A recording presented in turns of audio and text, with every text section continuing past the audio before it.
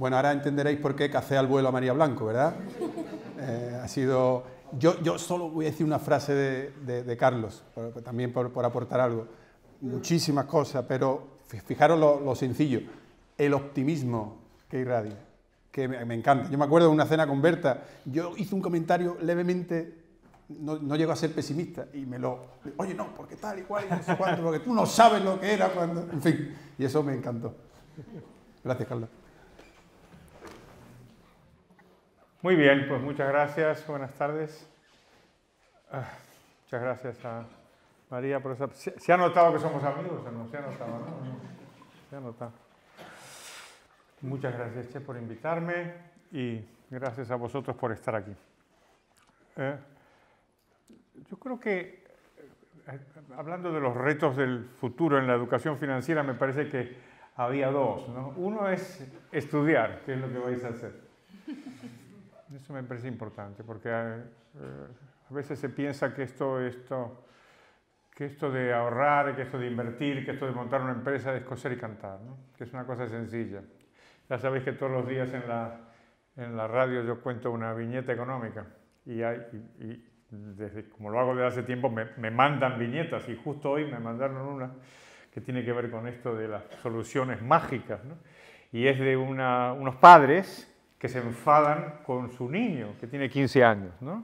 Y, y, entonces los padres le dicen, pero vamos a ver, ya tienes 15 años y no tienes una startup cuando te hemos comprado un ordenador, dice el padre, y la madre dice, ¿y hemos dejado vacío el garaje? Esto es más complicado de lo que parece. O sea que es mejor estudiar y por eso vais a hacer este, este curso. Lo que os quiero comentar hoy sobre todo es hablar un poco sobre el ahorro. Porque me parece que el ahorro, que es fundamental para la inversión y para el crecimiento, tiene mala prensa. Y la tiene desde hace mucho tiempo, en economía y en política. Y creo que esta es una, una idea que tenemos que combatir. Entonces empecemos. ¿Qué cosa es ahorrar? El ahorro es un sacrificio. Y entender qué cosa estamos sacrificando cuando ahorramos es importante porque despeja una antigua objeción, que es la siguiente. Si el que ahorra es un rico, pues ¿qué sacrificio hace? Le sobra el dinero, ¿no? No sacrifica nada. Simplemente usa lo que le sobra para ganar todavía más y que le sobre todavía más. El error de esta interpretación es no ver lo que estamos sacrificando.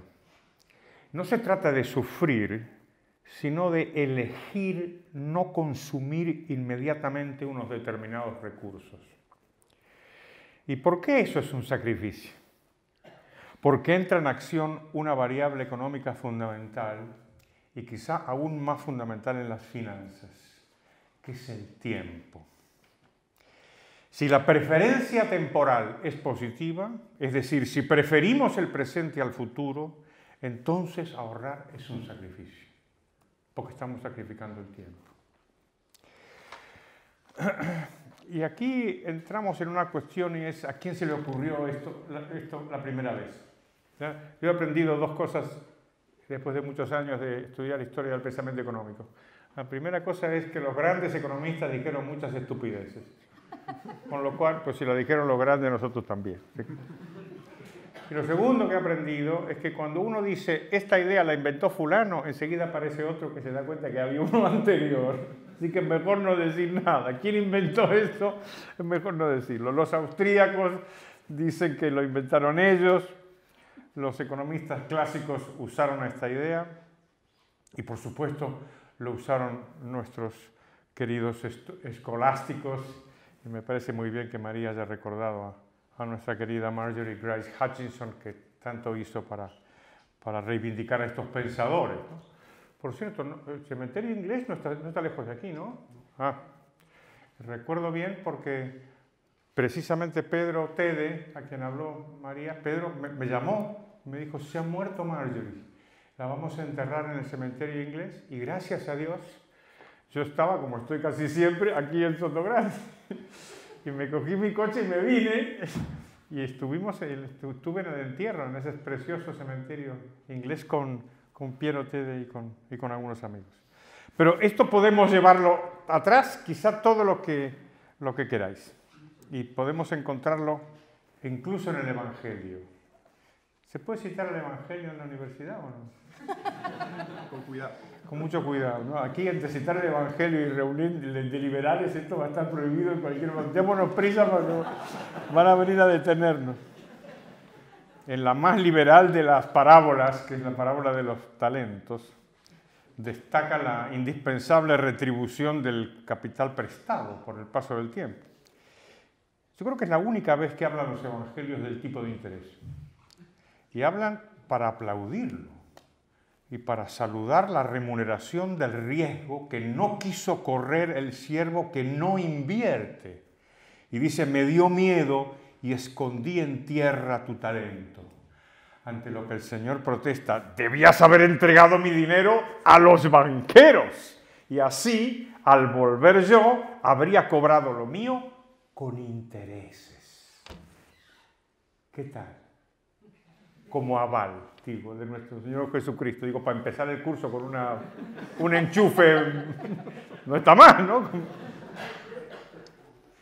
De todas maneras, vieja como es esta noción, fue utilizada por muchísimos economistas con esta misma idea. Una vez que consumimos, podemos ahorrar, es decir, posponer el consumo para lograr un objetivo, un fin más lejano. El origen del ahorro está vinculado con la productividad y con el tiempo, porque su meta es lograr métodos más productivos porque son más prolongados. El caso más antiguo, que a mí más me gusta, por volver a la, a la Biblia, es lo que hicieron Adán y Eva cuando salieron, cuando salieron, cuando fueron expulsados del paraíso.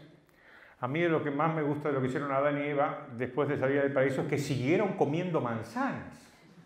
Una cosa asombrosa, tendría que haber arrepentido de ver. Siguieron comiendo manzanas.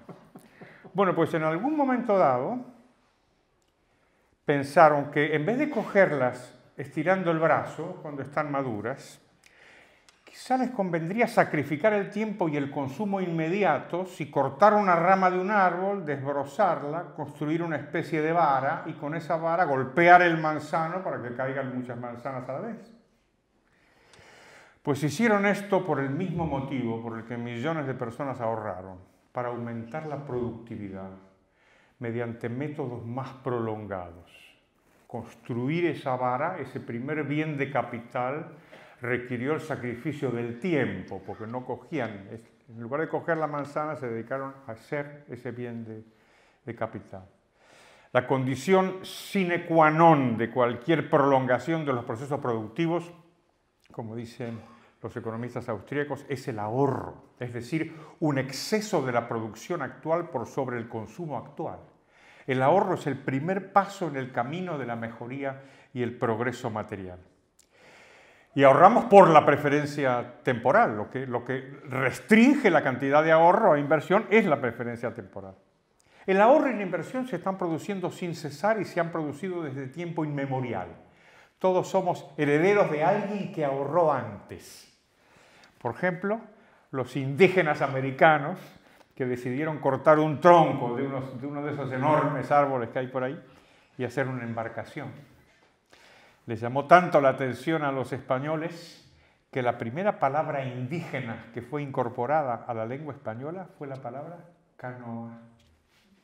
Es la primera palabra. Bonito, ¿no? Pues todo ese ahorro se filtra hacia el futuro se va encadenando un ahorro tras otro, pues la gente tiene que seguir acumulando. Cuando se estropea la canoa con el uso, pues los indios hacían otra, porque una cosa es ser un indio, otra cosa es ser un imbécil, no son sinónimos. La gente normal y corriente, incluso los empresarios, hablan de tierra, trabajo y capital, pero en realidad, como dicen algunos economistas, los bienes de capital no son un factor independiente, sino el resultado de la producción conjunta de, trabajo y la tierra, por ejemplo, la, canoa. ¿no? Se puede decir que los bienes de capital son trabajo y naturaleza almacenados en la canoa. Pero en realidad, como dicen los economistas, especialmente los austríacos, los bienes de capital son trabajo, naturaleza y tiempo almacenados en un bien. Los bienes de capital acercan el momento del consumo. Si uno no tiene ese capital, tendrá que acumularlo y estará más lejos del consumo final que quien parte con capital. La clave de la economía, por lo tanto, como vais a ver en este curso muchas veces, es el tiempo. No hay persona para la cual no cuente la diferencia entre más pronto y más tarde. Y la economía, como sabemos, no trata de cosas, no trata de bienes y servicios, sino de la elección, lo que elegimos y cómo, y cómo actuamos. Para poder acumular mucho capital se necesita algo más que el esfuerzo individual del ahorro, se necesitan instituciones. Como dijo Adam Smith, Occidente ostenta una ventaja económica sobre otros pueblos porque aquí se crearon antes las condiciones institucionales necesarias para ahorrar, acumular, invertir y producir en gran escala, que son la libertad, la justicia, la propiedad, los contratos, el comercio. En cambio, en otras latitudes, en otros tiempos, esas instituciones estaban subordinadas a otras, por ejemplo, a la guerra, al saqueo militar, que siempre conspiran contra la creación de riqueza. El ahorro que se traduce en inversión siempre es bueno, en principio, aunque después la inversión puede ser mala. Por eso es que los países, igual que las personas, no se hacen ricos invirtiendo, se hacen ricos invirtiendo bien, que no es lo mismo. Por eso tenéis que hacer este curso. Oye, si tienes éxito yo quiero un porcentaje, porque me está saliendo bien esta propaganda del curso que El capital no es, no es algo separado de los bienes de capital, como dicen los marxistas, no es una relación social y mucho menos de explotación. El capital solo es una cosa en la contabilidad, cuando sumamos los bienes de capital que tenemos, pero en la realidad el capital es mental, no, es una cosa, es una forma de ver las cosas. La rama del árbol siempre fue una rama. Cuando a Adán y Eva se les ocurre utilizarla, entonces la rama se convierte en capital, pero antes no. Es la mente de Adán y Eva la que convierte el objeto en capital. Y como es mental, eso de que otros saben mejor que nosotros cómo ahorrar e invertir y que es mejor para todos que el poder nuble nuestras mentes y ahorre e invierta en lugar de nosotros, es un peligroso camelo. Solo el ahorro permite la acumulación de capital, aunque también se puede ahorrar e invertir sin que baje el consumo. Aquí hay eh, dos motivos posibles, uno bueno y uno malo. El bueno es tener suerte, existe tal cosa como la la suerte. La naturaleza puede ser propicia, los inventos pueden mejorarte la vida, una externalidad positiva, o incluso en el caso de la política, podemos tener ventaja con la política. Y es cuando los políticos hacen una cosa muy importante, que es dejar de fastidiar. Porque a, los políticos la gente les pide que nos ayuden. Yo creo que esto es un exceso. Lo que hay que pedir es que no dañen, o eh, si os parece que es un exceso, que dañen un poquito menos. Por ejemplo, uno de los países que ha crecido más en los últimos 30 o 40 años es China. A mí me parece un ejemplo extraordinario, pues China es una dictadura comunista, atroz, y se ha convertido en un país en donde de manera natural el PIB crece al 10% todos los años cientos de millones de chinos han dejado atrás la pobreza. Es que hace 50 años el 90% de los chinos vivían por debajo de la línea de la pobreza, estaban en la extrema miseria, hoy son el 10%. Y es una dictadura comunista. ¿De qué fue lo que pasó? Pues que fastidiaron un poco menos. Los chinos los comunistas en general y los comunistas chinos en particular saben fastidiar. ¿eh? En la época de Mao Zedong dijeron vamos a aplicar el anticapitalismo y lo aplicaron de verdad. Quitaron la propiedad privada, quitaron los contratos voluntarios, mataron a 50 millones de tíos de hambre. O sea que fastidiar saben.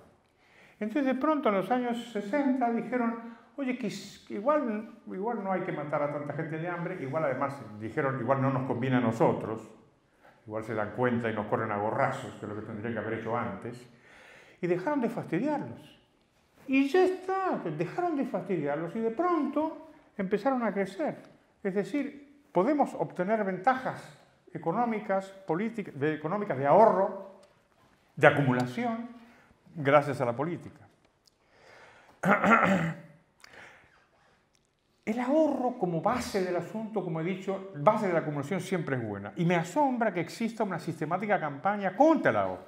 También en la ciencia económica, donde hay una corriente que desde Malthus hasta el más reciente de los keynesianos, incluyendo en primer lugar al propio Keynes, insisten en que el ahorro es malo porque disminuye la demanda.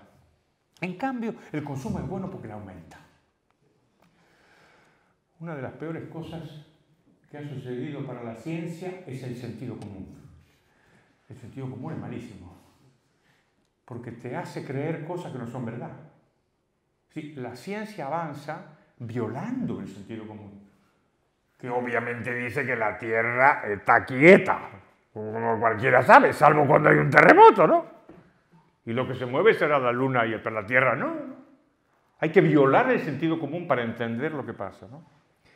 Y esta teoría de que el ahorro es malo y el consumo es bueno, una y otra vez se ha probado falsa. Desde luego, si la demanda y el consumo fueran la garantía del crecimiento, ¿por qué dejamos de crecer en 2007? Y nos pegamos una chufa fenomenal. Chufa es un término técnico. ¿Por qué no pegamos la chufa? Si estábamos consumiendo a recontratope. Consumiendo. La demanda era... O sea que evidentemente hay, hay una cuestión que, que, no funciona. Bueno, después está el motivo malo. Recordad que os hablé de dos motivos para aumentar la inversión. ¿Cuál es el motivo malo? Es fomentarla artificialmente a través del Estado. Las políticas monetarias expansivas abaratan artificialmente los tipos de interés y expanden la inversión desajustándola con el ahorro. Y ahí está la semilla de la crisis. Eso es lo que produce la crisis. Por cierto, eso y no la malvada especulación. Es absurdo condenar la especulación y alabar en cambio la llamada economía real en el sentido de tangible, la agricultura, la industria, Toda inversión es especulativa, siempre. Y tienen razón los economistas eh, que advierten contra la obsesión con la bolsa, en el sentido de que la bolsa no tiene pérdidas de por sí, no es ella la mala, digamos, sino que lo que refleja son las ganancias y las pérdidas que se producen en otro sector de la economía. La especulación es buena. Por cierto, ¿os acordáis que Jesús vuelvo al Evangelio, expulsó a los mercaderes del templo. ¿Os acordáis de esa? Hay que recordar una cosa, los expulsó del templo, solo del templo. No los echó de la ciudad, ¿eh? ¿Ok? Entonces cuando os digan, ah, los mercaderes son malos, en el templo mejor que no estén. Pero afuera sí, ¿eh? Afuera sí. Y ahora me voy a poner un poco conspiranoico, o quizá no, según si consigo demostraros de verdad que el ahorro está perseguido por la política y no solo por los profesores de, economía. Un amigo mío y amigo también de María, el doctor Walter Castro, me contó que el anterior gobierno argentino, de la deplorable Cristina Fernández de Kirchner, había pretendido cambiar la moraleja de la cigarra y la hormiga. De verdad, querían que terminara bien para la cigarra. Que sería alojada por la hormiga, porque como dicen ahora los cursis, la hormiga pondría en valor el hecho de que los alegres cantos de la ociosa cigarra le habían reconfortado durante las laboriosas jornadas estivales. Bueno, vamos a ver. Eh, vamos a ver. Eh, la, interpretación que recorre toda la, historia de esta fábula desde Sopo es que la hormiga es la buena, no y la cigarra no. Es verdad que se mezclan, ¿eh? Se mezclan, se mezclan. Eh, en la recreación de la, de la Fontaine, la Fontaine no establece un juicio moral diáfano sobre el mérito de ambos insectos.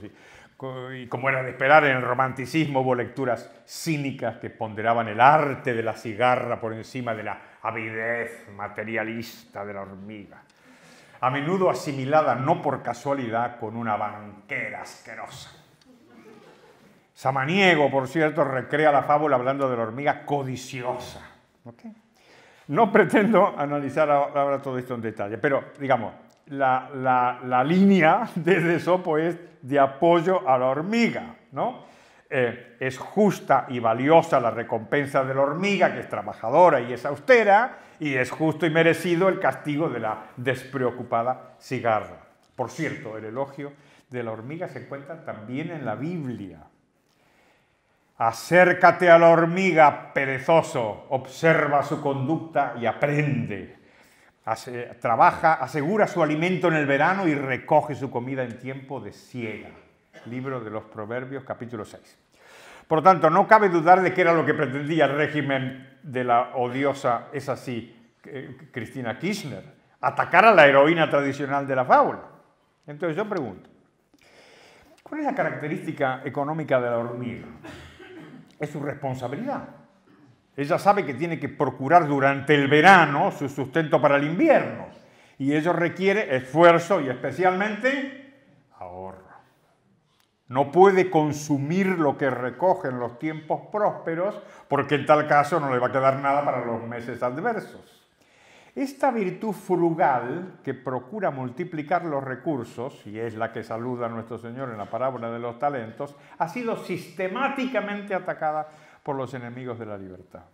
Todos ellos siempre han sido enemigos del ahorro y de la responsabilidad individual.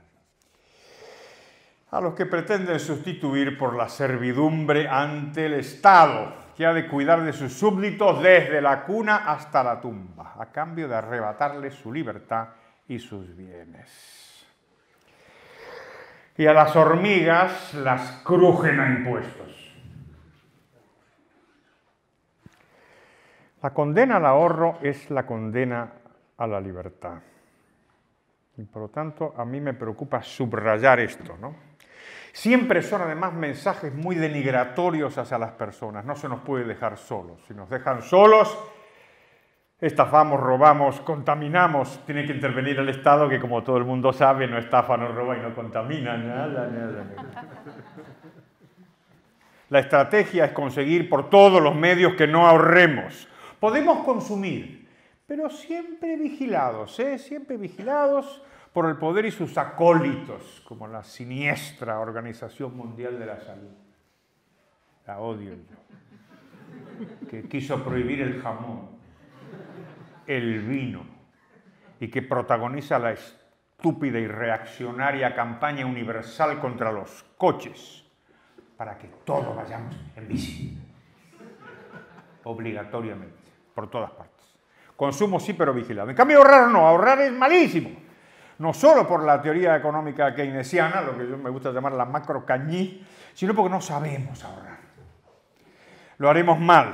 Lo mejor es que el Estado nos quite el dinero y ahorre él por nosotros. Es un ahorro forzoso, nos, nos obliga a ahorrar porque no se nos puede dejar solos. Siempre es una idea reaccionaria se presenta como progresista y es reaccionaria, porque parte de la base de que el pueblo es estúpido. Tiene que partir de esa base, porque si el pueblo no es estúpido, ¿por qué le vas a quitar el dinero? Déjaselo. Y que ya él pueda ahorrar, ¿no? Siempre es así en todo, ¿eh? incluso en la educación. ¿Sí? ¿Por qué la... ¿Sabéis lo que es la ESO, no? La escuela secundaria. Obligatoria. ¿Por qué es obligatoria? ¿Por qué te van a obligar a que te eduques? ¿Por qué? Pues si rastreáis eso, siempre hay un economista. En este caso, el tipo que se llamó John Stuart Mill, que en 1848 dijo que en la educación había un fallo del mercado, o que llamaríamos una información asimétrica. Y él dijo que los padres no educados no iban a comprender el valor de la educación para sus hijos. Y entonces no iban a mandar a sus hijos al colegio. Y por tanto había que obligarlos. Ese es el origen de la obligatoriedad educativa, que existe en todo el mundo sin que nadie se pregunte, ¿ma por qué? Es por eso que es una teoría falsa y reaccionaria profundamente, porque si hay algo que sabemos es que los padres no educados sí pueden saber perfectamente el valor que tiene la educación para sus hijos. Pues bien, en lo tocante al ahorro, el mecanismo es bastante parecido y parte de la base de que es mejor para nosotros que no seamos libres. La libertad es muy peligrosa, igual alguien inventa alguna criptomoneda y la gente se da cuenta de que el dinero no es una creación política, sino un descubrimiento de la sociedad civil. Volvamos al ahorro, ya estoy terminando, porque voy a terminar con dos diabólicos mecanismos financieros que el Estado ha arbitrado para que no ahorremos. Es decir, para que no seamos responsables. Es decir, para que no seamos libres. Uno son las retenciones y otro son las pensiones públicas, mal llamadas pensiones y mal llamadas públicas. Para entender hasta qué punto se trata de intervenciones políticas siniestras, simplemente pensemos qué pasaría si mañana desaparecieran las retenciones y todos cobráramos en bruto. Hace muchos años, muchos años lo propuse en un artículo del que estoy muy orgulloso, sobre todo por el título, porque era un artículo donde proponía que se suprimieran las retenciones y todo el mundo cobrara en bruto, y lo titulé ¿Tú también retienes bruto? Imaginemos que mañana desaparecen las retenciones. No hay más retenciones. ¿eh? Todos cobramos en bruto. Y después vamos a la agencia tributaria a pagar. Todo se cobra en bruto. Desapareció la, imposición indirecta. Cuando echamos gasolina pagamos solamente el coste de la gasolina. Y sabéis que es la mitad de lo que, de lo que cuesta y después iríamos con el dinero a la agencia tributaria a pagar. ¿Qué pasaría? Que este camelo no dura una semana, hombre. Los echamos a gorrazos. ¿Os imagináis? A los obreros cobrando su salario todo y después yendo cada obrero a la agencia tributaria a decir, Montoro, toma esto a la seguridad social, esto al IRPF. Lo matan a Montoro. ¿Ok?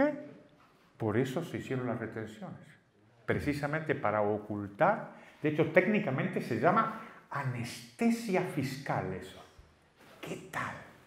Lo que te dan para que no te duela cuando te rajan. Anestesia fiscal se llama.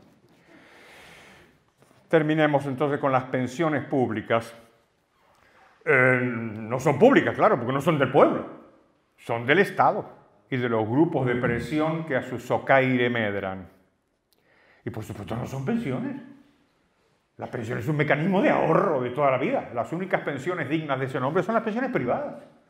Donde tú ahorras durante toda tu vida, creas un capital, acumulas un capital y al final de tu retiro pues cobras de eso. Y este sistema que por cierto ya existía en el siglo XIX, había sistemas privados. ¿eh? Muchas veces organizados por los sindicatos y por mutualidades, existía una especie de sociedad del bienestar antes del Estado del bienestar. El sistema fue aniquilado por el Estado, que socavó el incentivo a ahorrar y le dijo a la gente, no ahorréis. ¿Para qué? ¿Para qué? Dejarme a mí. Yo quito el dinero, monto mi sistema de reparto y ya después, no os preocupéis, que voy a dar pensiones dignas. Y los robaron a los pensionistas. Y como se dieron cuenta los pensionistas, ya era tarde para acumular un ahorro privado. Es una estafa como una catedral y está considerada una conquista social. Fue justo al revés. El Estado conquistó a la sociedad, la engañó, la estafó.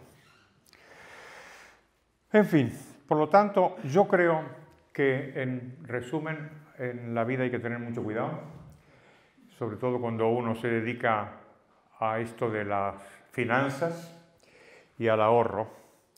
Y hay que valorarlo, valorarlo mucho políticamente y valorarlo mucho personalmente. O sea que ahora ahorra. Muchas gracias.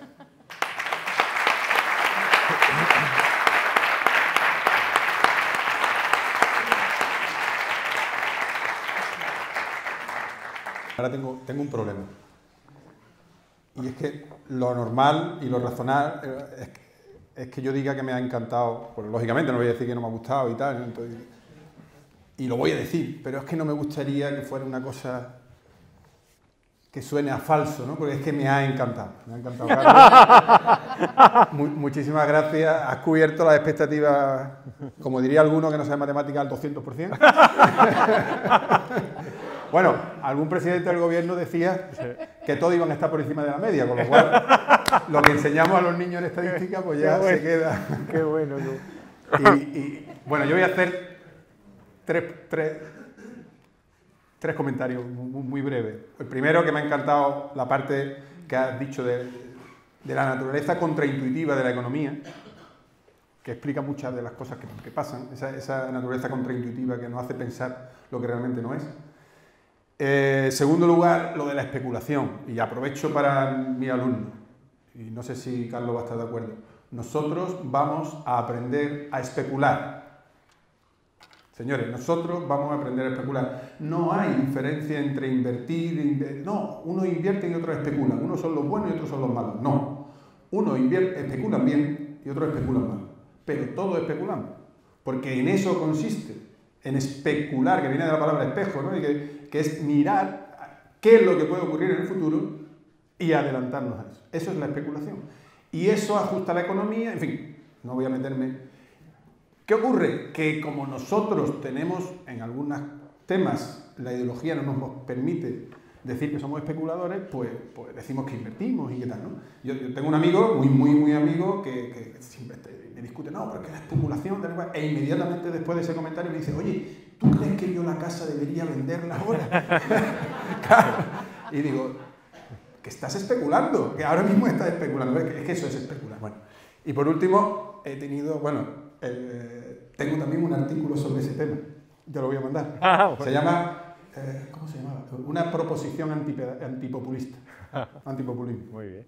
es exactamente de lo que tú has comentado. Y, una de las cosas que proponía era precisamente quitar las retenciones, pero no solo las retenciones, sino lo que paga el empresario por el trabajador para que el, trabajador no se entere realmente de lo que realmente puede. Es decir, poner todo en el bolsillo del trabajador y que el trabajador sea absolutamente consciente de lo que nos cuesta. Es como, como yo decía, es como entrar al supermercado. Si no tienes precio, no puedes decidir. Pues si te quitan, tú no puedes decidir cuánto sector público quieres si tú no sabes con lo que pagas, ¿no? que, es la anestesia fiscal esa que, tú decías. Bueno, eh, vamos a abrir un pequeño turno de palabras. Enrique va a acercar. Bueno, os animo a preguntar, ¿eh? se supone que hay que debatir. Don Carlos, muchas gracias y como siempre muy estimulante su charla. Eh, eh, quería preguntarle si tiene eh, alguna teoría, ¿por qué el capitalismo sigue teniendo o sigue estando tan asociado a, lo que es el consumismo, a la sociedad de consumo, cuando es todo lo contrario?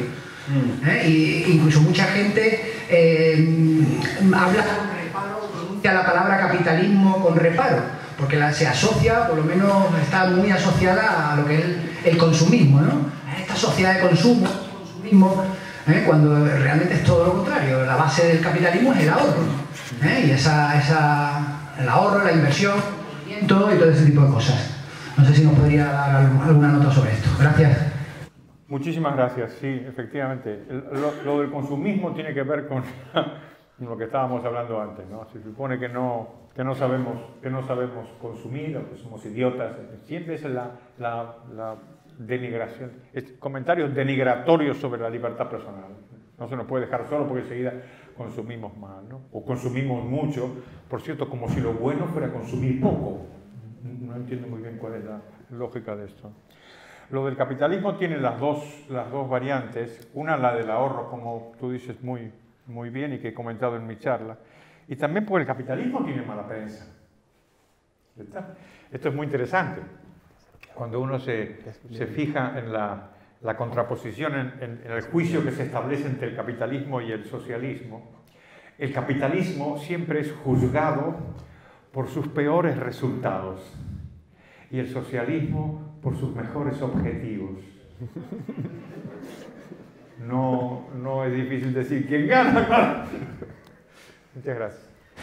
Sí, a mí me gustaría dar las gracias a nuestros dos ponentes, puesto que cuando me enteré que la intervención podía durar unas tres horas, me eché la mano a la cabeza y, busqué en internet quién era usted y me pareció terriblemente divertido y hoy no ha defraudado y me sigue pareciendo terriblemente divertido.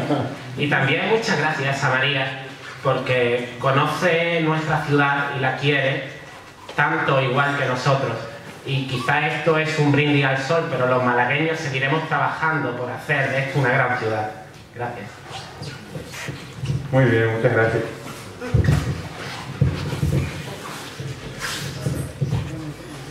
Muchas gracias a, los dos. Eh, yo voy a, voy a, ser un poco crítica, digo crítica porque os sigo y sigo a, los liberales sin tener mucha idea de economía, pero mm, hablando de ahorro y deuda, y vamos al Estado más que a los individuos, ¿No estáis corriendo el riesgo de ser un poco, y hablando de fábulas y cuentos, Pedro y el lobo? Os pido ayuda porque me, lo preguntan a veces en debates, eh, con el exceso de deuda de los estados. ¿no? Llevamos años oyendo que, es una burbuja, que va a estallar, que las políticas expansivas de los bancos centrales, pero, eh, pero llevamos años escuchando, lo cual es Sé que, sé que sois de los economistas sensatos que no os lanzáis a profecías mm, eh, a lo loco, pero, pero una mínima divulgación sobre el riesgo de la deuda y los estados ¿no? y el ahorro. Yo creo que hay, gracias Berta, a, mí me parece importante esta distinción, porque claro, una de las, de las dificultades que tiene el análisis de la política es que su retórica se parece a la de la sociedad civil. Entonces, si os fijáis, las, trampas que la política te tiende, a menudo es porque utiliza el, lenguaje de la sociedad civil. Eh, la solidaridad, por ejemplo, o las ayudas públicas. Y, claro, el Estado, no, el Estado no te ayuda. El Estado no es generoso, el Estado no es bueno. La que era buena era la Madre Teresa de Calcuta. Y hay una gran diferencia entre la Madre Teresa de Calcuta y la agencia tributaria. ¿Qué diferencia hay? Que si tú no le dabas el dinero a la Madre Teresa de Calcuta no te pasaba nada. Y si no le das el dinero a Montoro te mete preso. El Estado es radicalmente distinto de la sociedad civil. Primer mensaje. Segundo mensaje cuando el Estado hace finanzas, también es distinto de la sociedad civil. Y por eso la deuda pública es un problema y además es un problema distinto de la deuda privada. No digo que la deuda privada no, no sea un problema, pero cuando lo es, y creo que algo de eso apunté en mi charla, tiene mucho que ver con la intervención pública. Por ejemplo, cuando te inundan de liquidez, te regalan el dinero entonces, como te regalan el dinero, la facilidad de que entres en la burbuja es muchísimo mayor que si tú tuvieras un sistema financiero que casara bien el ahorro con la inversión, a través de unas cuestiones técnicas bancarias que no puedo explicaros ahora. Pero hay un problema con la deuda privada, por supuesto, ese problema es que se infle en exceso, viene alimentado por el sector público, por la intervención monetaria. ¿Qué pasa con la deuda pública? Desde mucho tiempo los economistas percibieron que había un problema con esta deuda. Y es que los estados podían recurrir a ella, estarían muy tentados a recurrir a ella. ¿Por qué? Porque la deuda te permite el disfrute político de gastar mientras retrasa el coste político de recaudar. Y la gente normalmente no le gusta pagar impuestos. De hecho, hay grandes revoluciones que se hicieron en contra de los impuestos. Algún día igual podemos ver una. Por cierto, hemos visto una, una revuelta contra el impuesto de sucesiones, aquí en Andalucía y en otros lugares de España. La gente reacciona contra los impuestos, ¿vale? Entonces, la deuda pública, una maravilla. recaudo, obtengo un dinero y ya otro recaudará. ¿ok?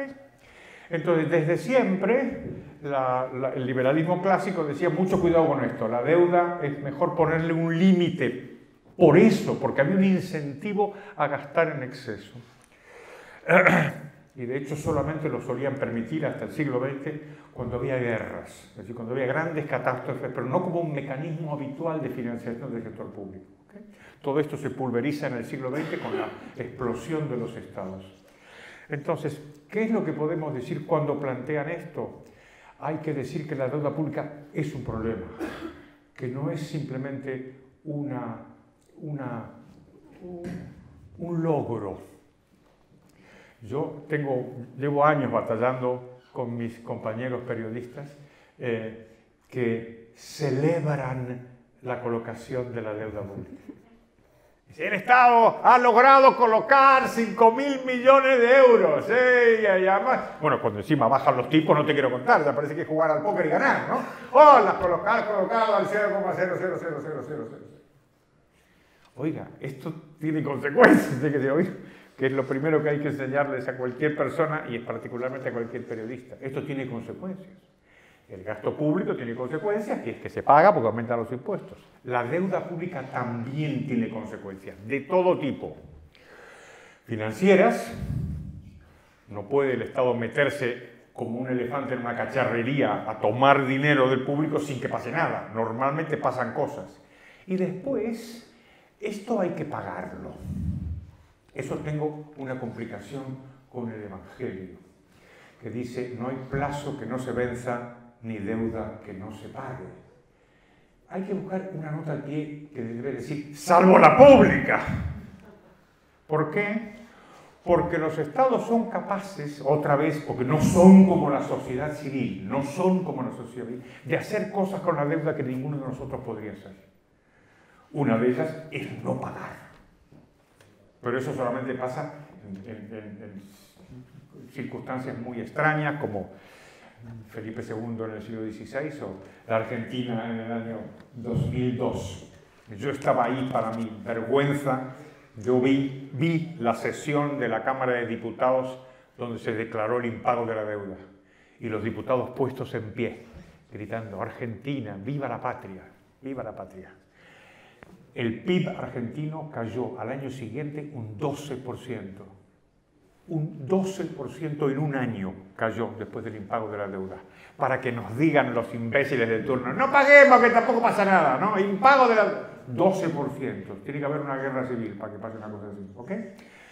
Cuando se toman otras medidas, que no son tan dramáticas, también pasan cosas. Por ejemplo, que tú tienes que refinanciar la deuda una y otra vez, o termina, tienes que refinanciarla. Si el tipo de interés sube, tienes que pagar más. Si tienes que pagar más y tienes un gasto público inelástico a la baja, vas a tener que subir los impuestos.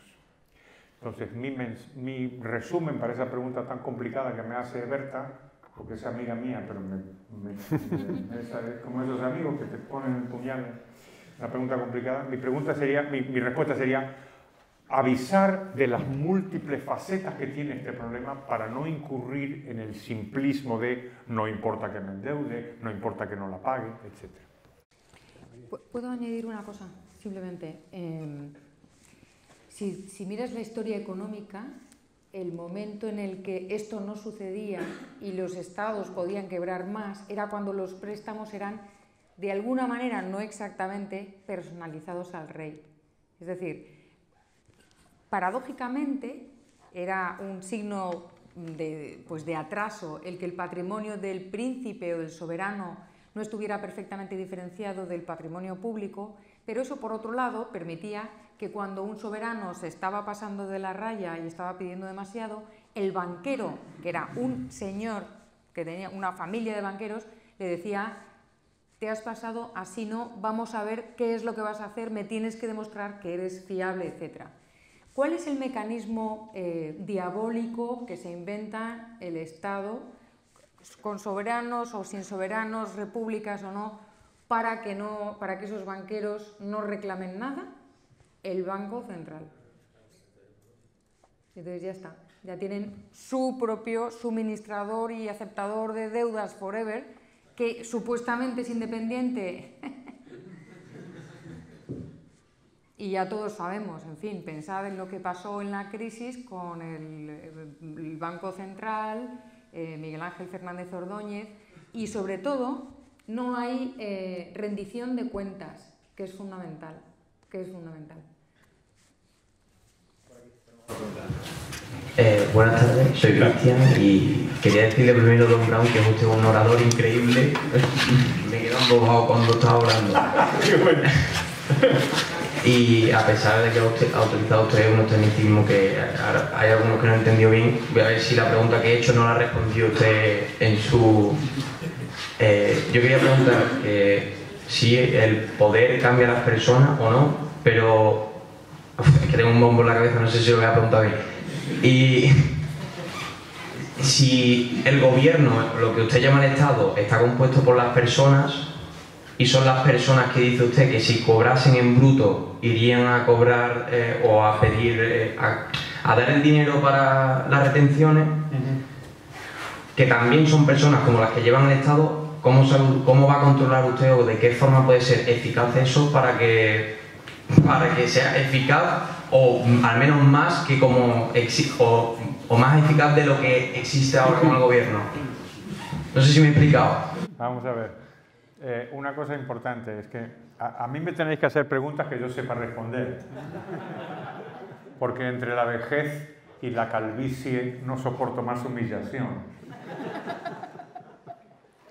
Es una pregunta buenísima, buenísima, buenísima la que has hecho. Entonces yo no, voy a intentar, voy a intentar responder. La cuestión de las, de las retenciones cuando, te, cuando trabajes, una de las cosas que te va a pasar si tú trabajas en una profesión o en una, empresa y te pagan un sueldo, eh, no te van a cobrar todo, no te van a pagar todo el sueldo. Se va a quedar el empresario una parte y esa parte se la va a dar al Estado para la seguridad social o para el IRPF y tú vas a cobrar en neto, no en bruto. Y entonces este mecanismo es lo que se llama la anestesia fiscal, porque tú te vas a acostumbrar a mirar en la nómina un cuadradito de abajo a la derecha que dice neto a recibir y vas a pensar que ese es tu sueldo. Y eso no es tu sueldo, eso es el sueldo neto, después de que te han descontado una cantidad de cosas. Entonces, mi, mi teoría y mi propuesta era que si eso no existiera, si el empresario te pagara a ti, digamos, los, los mil euros y tú tuvieras que ir, tú, no el empresario, a través de una cuenta corriente que se descuente del banco, sino tú ir a la casa de Montoro a entregarle 200 euros de impuestos, te molestaría muchísimo más que que simplemente tú cobraras 800 euros y otra persona, ¿entiendes?, lo quisiera fuera depositarlo la primera pregunta es una pregunta muy complicada, si es que el poder cambia a las personas o no. La verdad es que no lo sé. Eh, si te, eh, hay un, hay un eh, libro muy famoso que nos gusta mucho a los liberales, que se llama Camino de Servidumbre, que escribió un señor que se llamaba Hayek, a quien tuve la fortuna de, de conocer y de, y de entrevistar. Lo, conocí antes y después de que le dieran el premio Nobel de Economía y le entrevisté una vez muy pocos años antes de morir y yo le decía, vamos a ver, usted ya es premio Nobel de Economía, digo, ¿no? Ya está, ya, ya ha conseguido todo lo que... Después te contesto, pero esto me divierte contar. Pues, porque tiene que ver con los viejos, me gustan mucho los viejos por obvias razones. Eh, le dije, ya, está, usted ya es un economista famoso, durante muchos años la gente lo despreció, usted ya es Nobel, ya es no sé qué. ¿Qué hace usted dando vueltas por el mundo? Porque lo entrevisté en Madrid. Ya tenía ochenta y pico de años. ¿Por qué viaja usted tanto? ¿Por qué? ¿Por qué no se queda en su casa a disfrutar de su premio Nobel y tal? Y se rió y me dijo, porque en cuanto me subo a un avión me duermo. Dije, por lo ¿qué me importa? Subo un avión y termino en Tokio, me da igual. Bueno, ese libro que te recomiendo en la edición de Unión Editorial hazme el favor de comprar esa edición y no otra. Digo, porque tiene un prólogo mío. Eh, ahí hay un capítulo que es muy inquietante y que tiene que ver exactamente con lo que tú me has preguntado. Ese capítulo es ¿por qué los peores triunfan en la política? Why the worst get on top? Y es una pregunta, es un capítulo inquietante, quizás el más inquietante de todos. Es, un libro bastante inquietante en general, pero ese capítulo quizás el más inquietante de todos. Porque no es que simplemente el poder tienda a corromper, como decía Lord Acton, sino que la gente que ya es mala de entrada tiende a ser atraída por ese mecanismo. Entonces, lo que te propongo es que te leas el libro y te leas ese capítulo y quedamos un día eh, y, lo discutimos. Y que lo leáis vosotros también a ver qué opináis. Es una pregunta puñetera y buena, muy buena. Bueno, antes de pasar a otra pregunta, quería hacer yo una. Y voy a utilizar una pequeña trampa emocional que suele utilizar mucha gente de la izquierda, que es poner un caso concreto ah, para sacar. ¿no? Entonces, yo cuando hablo de ahorro, de la importancia del ahorro, muchas veces me, me preguntan lo mismo. Bueno, está muy bien todo lo que tú dices pero ¿qué hago? ¿Cómo ahorro yo si yo no llego a fin de mes y no tengo nada en la nevera y hay muchísima gente en paro? ¿Qué, le respondería? Muy bien, muy bien. Ya estamos en la de. La, esta está buena esta pregunta. Ya estamos en la, hora del populismo, la demagogia. Te faltó traer una foto. ¡Esta señora no puede ahorrar! Iba a traer el oso polar. está muy bien. Esto es una, esto es en, el, en, la, en, el, debate que tenemos los liberales siempre estamos con eso. Está muy bien que lo traigas a, lo traigas a colación. Me hacía acordar a otro. Hay un gran escritor se llamaba José Luis San Pedro, que era, era economista y, era, y se hizo famosísimo. Es uno de los ejemplos que para ser famoso uno tiene que ser fundamentalmente un tipo triste. Sí. Saramago era, Saramago era fantástico. Saramago decía, ¿cómo está Saramago? ¡Uy, fatal! El mundo va fatal. Decía, ¡oh, qué gran pensador! Sí, siempre es así, ¿eh? es una cosa bien interesante. Y San Pedro decía, claro, eh, dicen que el mercado es bueno, pero el mercado solo sirve si tengo dinero. Y si, si, voy al, supermercado y no tengo dinero, ah, ¿para qué me sirve? Dice, ay, ya pensé, sí, tendrás razón. Algo parecido pasa con, esto también. ¿no? Eh, uno no tiene dinero, uno tiene recursos para conseguir dinero. Y esa capacidad la tenemos todos. Hay que pensar en esa capacidad y no en la imagen de señor pobre enfrente de el mercadona de turno, entonces como no tiene dinero no compra. No, no, no. El Señor será pobre porque no tiene dinero, pero Él tiene recursos. Y si no tiene dinero, hay que ver por qué no lo consigue. Por ejemplo, porque está parado, porque hay, hay una legislación que conspira contra el empleo. Por ejemplo. ¿Qué hay que decir en el caso del ahorro? No me llega para ahorrar. Otra vez estamos calculando en neto. No me llega para ahorrar porque estás calculando en neto, porque todos calculamos en neto porque es lo que cobramos. Entonces hay que decir, ajá, pues baje usted el impuesto. Baje usted los impuestos y tendrá más para ahorrar.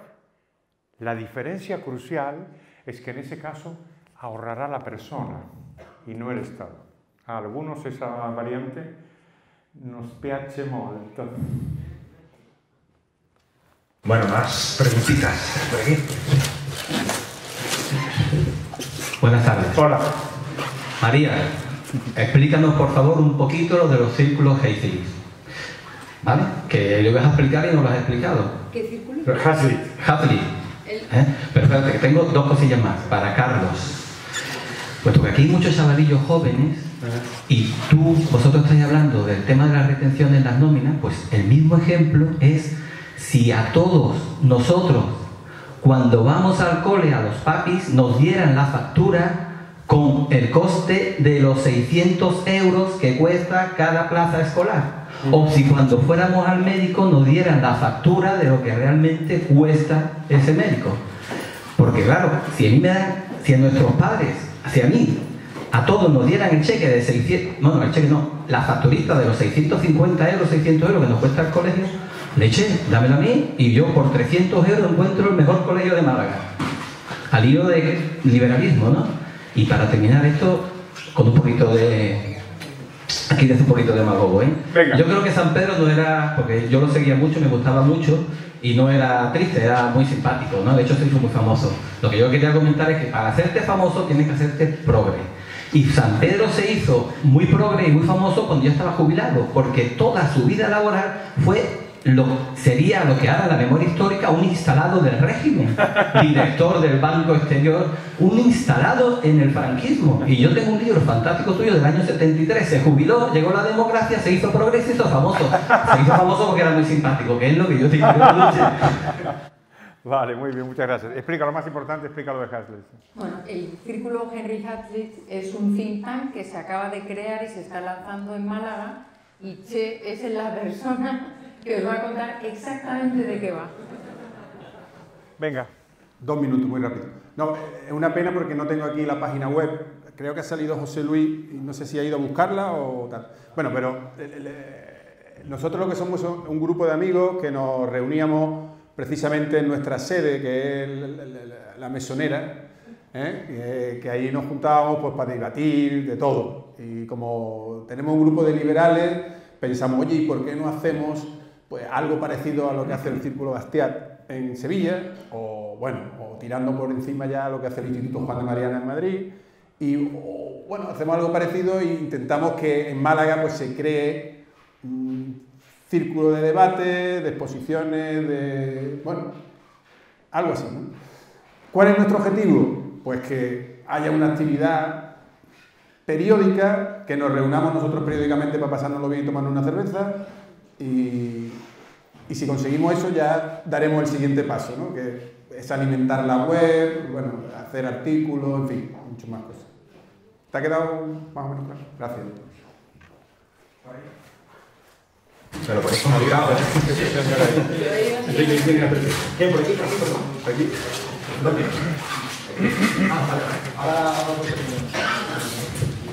Eh, espero no ser demasiado complicado en, la pregunta. A ver. Eh, yo soy un liberal convencido y me preocupa si voy a poder ser siendo un liberal convencido dentro de 10 o 12 años cuando todas las nuevas tecnologías cambien el sistema como, tal como lo concebimos hoy en día. Y me gustaría saber un poco cuál es tu visión. ¿Por qué eso? ¿Por qué? ¿Cuál es el temor? Bueno, la evolución de la, ah, tecnología, claro, la tecnología, todo lo que, todo lo que viene, el necesitar menos de la, del trabajo de las personas, que es lo que al final te permite ahorrar, eh, va a suponer el cambio de, los equilibrios en la sociedad. Muy bien, muy buena pregunta, muchas gracias. en general, la, todo, menos, menos María Blanco, todo tiene un lado bueno y un lado malo. Todo es. Porque el lado de María todo es malo. y la tecnología obviamente tiene cosas malas. Y esto ha sido objeto de la atención de los economistas desde hace mucho tiempo. Porque los primeros economistas clásicos, hace 200 años, vivieron en la época de los luditas, los destructores de máquinas, que eran gente, trabajadores que destruían máquinas acusándolas de desempleo hubo en España, en, Cataluña, sitio en País Vasco, sitio donde había industria, había luditas. Y lo que dijeron los economistas entonces, después de mucho darle vueltas, yo creo que podemos utilizarlo ahora. Y es que efectivamente la tecnología tiene aspectos malos. Y dijeron, oye, si hay una fábrica que tiene 100 eh, empleados y compran una máquina que hace el trabajo de 50, 50 se quedan sin empleo. Sin embargo, dijeron otra cosa y es que la tecnología expande la productividad del conjunto de la economía. Y con la productividad, el crecimiento. Y con el crecimiento, la posibilidad de contratar. Con lo cual, con lo cual si uno tiene el retrato completo de la situación, resulta que la tecnología es favorable a los trabajadores y no contraria cosa que parece bastante evidente, si la tecnología destruyera empleo, el empleo habría desaparecido. ¿No? Y no lo ha hecho. Entonces, eh, eh, eso como argumento económico. Y después yo creo que la tecnología, en el fondo, en el fondo, con todos los matices, es una fuerza positiva para la libertad. Yo tenía un amigo que me decía que el comunismo cayó porque se inventaron las antenas parabólicas y los tíos pudieron mirar cómo se vivía al otro lado. en general yo creo que con todos los matices que por supuesto hay, ¿eh? pero yo diría que hay que apostar más por la tecnología y no en contra. ¿Puedo añadir algo? Sí, sí, ¿Puedo añadir algo? Eh, me gustaría añadir algo a lo que ha dicho el profesor Rodríguez Brown respecto a la tecnología y el mercado de trabajo. Eh, efectivamente, es verdad que la tecnología siempre es algo disruptivo en la economía, especialmente si no estamos acostumbrados a ser flexibles. Es decir, si no nos dan la oportunidad que los legisladores de ser flexibles. Ahora mismo, eso por, por un lado, es decir, es obvio que va a haber puestos de trabajo que se van a perder y personas que van a abandonar unos puestos de trabajo que se han quedado obsoletos.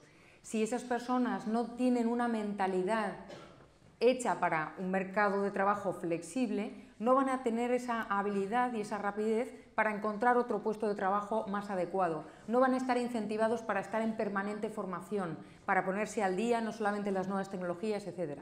Entonces, eso es uno de los problemas que tenemos aquí en España, aquí y ahora, y es que tenemos un mercado de trabajo tan eh, rígido y una legislación tan rígida que normalmente quienes tenemos un puesto fijo de trabajo no nos formamos en nada más, porque como venimos con un puesto de trabajo debajo del brazo, pues ya está.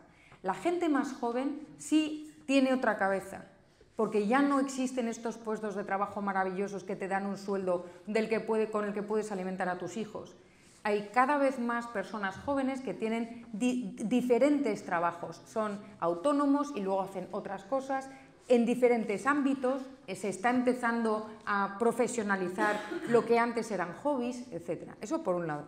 Y por otro lado, eh, desde la revolución industrial eh, nos han transmitido una idea equivocada respecto a las nuevas tecnologías o a, o a los avances tecnológicos.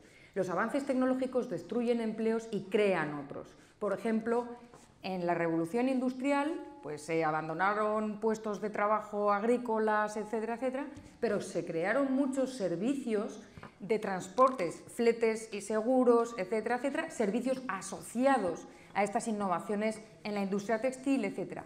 Y eso está sucediendo ahora, por ejemplo, en la banca, donde las innovaciones tecnológicas están destruyendo puestos de trabajo, pero están apareciendo otros puestos de trabajo que se, dedican más al servicio al, consumidor. De lo que se trata es de que nos dejen explorar y que haya variedad.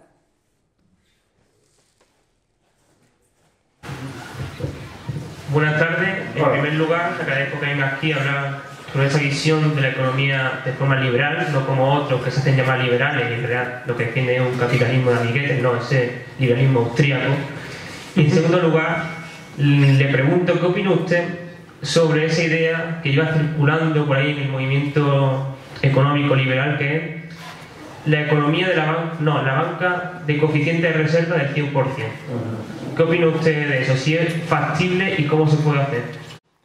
A mí me parece que esto... Tengo que hacer una respuesta corta, pero bueno.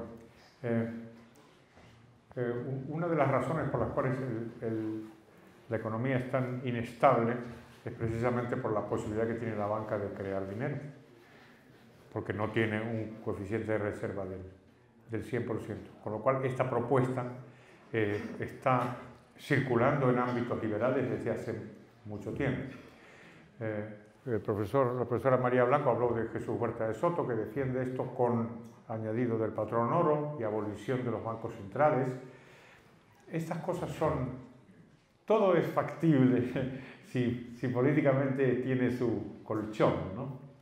Ahora, yo tengo una, una pesadilla para contarte, para que no duermas ya más. Y es que sospecho que esa propuesta se puede aplicar por parte del Estado. Creo que el Estado se puede apropiar de esa idea. Ya me vais a decir que soy un paranoico, pero yo últimamente sueño con un Estado que se queda con el Bitcoin. Porque es un invento, es un invento bárbaro. si yo fuera el Estado, lo primero que haría es quedarme con el Bitcoin. ¿eh? No fuera, imagínate que ahora es un lío, porque sube, baja. Imagínate que, que funcione el Bitcoin y se estabilice. Imagínate el coste en términos, el coste reputacional para el Estado es brutal. No lo va a permitir. Entonces, si no puede prohibirlo, va a intentar protagonizarlo él. Y ya hay un movimiento que yo he detectado en algunos economistas de izquierda, que son los liberales, hay economistas de izquierda liberales que son peligrosísimos, porque son los listos, que dicen, vamos a cambiar este sistema y vamos a hacer el sistema de una reserva del 100% de tal manera que la gente, los bancos no puedan crear dinero, pero todo el dinero esté depositado en el Banco Central. Y controlado por mí, por Hannibal Lecter, ¿está? Es posible que esto pase, con lo cual hay que tener cuidado con esta propuesta. Yo antes la proponía bastante, ahora ya un poco menos, no vaya a ser que se la quede el Estado. Pero vamos a seguir esa pista, hay que seguir esa pista. El Bitcoin estatal y la propuesta de reserva del 100% a cargo del Banco Central. Bueno, última pregunta, si os parece bien. Venga. No esperaba ser el último.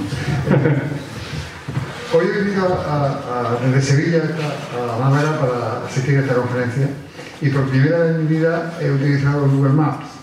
Y una señorita muy encantadora me está diciendo por dónde tenía que ir y me ha llevado exactamente de forma correcta hasta el hotel. Y ahora me pregunto, como decía Joseph Clark, ¿eso quién lo paga? Es decir, bueno, ¿quién lo paga? Porque no, para mí ha sido gratis. Y yo sé que nada es gratis. Bueno, lo poquito que sé, sé que nada es gratis. La otra pregunta era, muy complicada, hasta dónde podía llegar el Estado, pero como está implícita en la primera, pues No, la, segunda pregunta es buenísima. ¿Son estas dos nada más? vale, vale. No, no, son preguntas. El Estado, eh, vale, vale, vale. la Administración de Justicia. Vale, vale. ¿Y qué más? Vale, vale. La cuestión de la gratuidad tiene un enorme interés y, guarda relación con la pregunta que hacía eh, Berta hace un, hace, un, hace un rato. ¿no? ¿Por qué? Porque normalmente en la política el mensaje es procurar ocultar los costes. Siempre procuran ocultar los costes, siempre, siempre, siempre. Entonces toda la retórica es sanidad gratuita, educación gratuita, siempre la cosa gratis aparece una y otra vez. Esto no, como no te cuesta, el mecanismo redistributivo lo que hace es ocultar los costes. No termina uno de saber cuándo está pagando qué cosa, quién paga qué.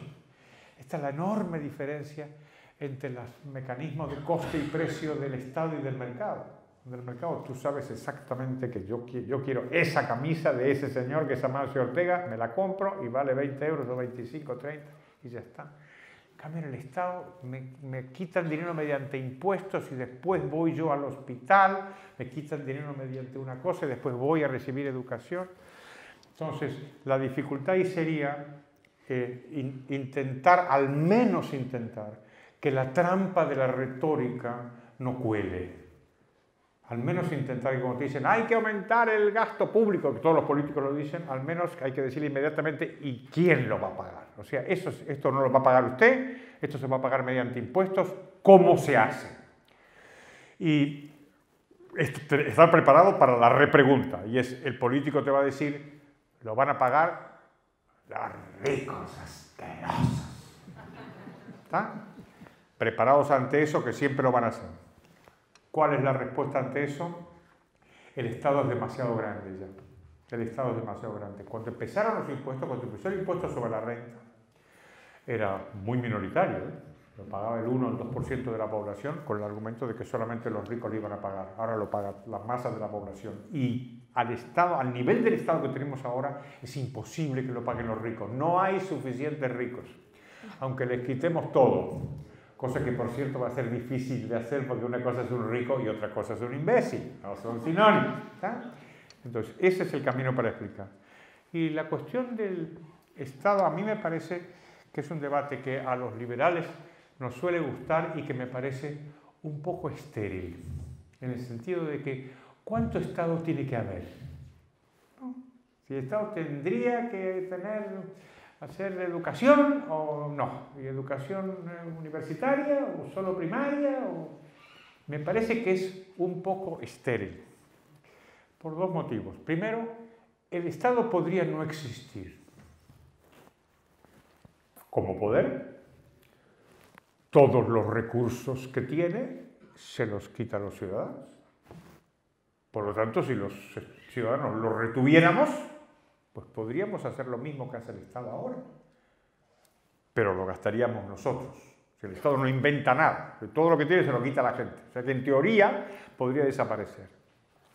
Me da a mí la sensación de que eso, eso podría ser una, una posibilidad.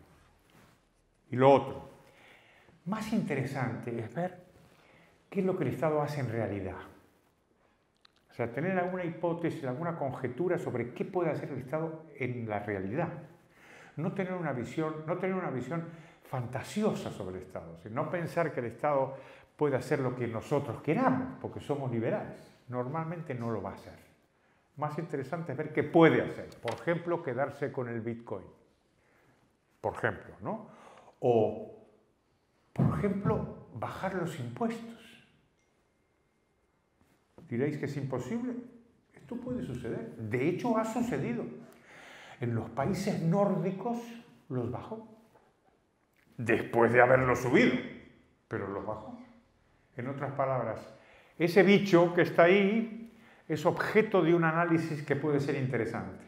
Y me parece a mí que ese análisis, mirar qué hace, qué hace en las finanzas, qué hace con el dinero, qué hace con el crédito, me parece que es más interesante o más importante que no preguntarnos qué nos gustaría a nosotros que sucediera. ¿Listo? Muy bien. Bueno, pues muchas gracias a todos. Muchísimas gracias, Pastor.